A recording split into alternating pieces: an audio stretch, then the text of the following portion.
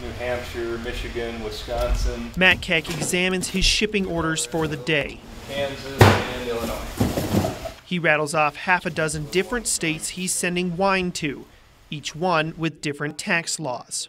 There's something like 10 or 15,000 laws and regulations that uh, you have to adhere to when you're shipping to all of these states. This year, the Supreme Court sowed confusion in a decision allowing each state to start collecting sales tax from internet transactions, wine or otherwise. Small business owners faced with the daunting task of keeping up with 50 states worth of laws need only look to Prairie Berry Winery to rest easy. We've been uh, successfully shipping uh, to other states for 15 plus years.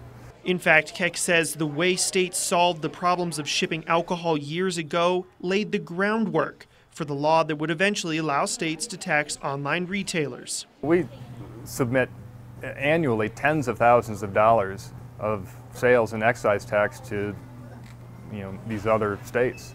Um, so that's and we've been doing that, like I said, for, for years. Governor Dennis Daugaard says newly developed software will allow retailers to automatically calculate the right amount of tax for each state and charge it to the customer.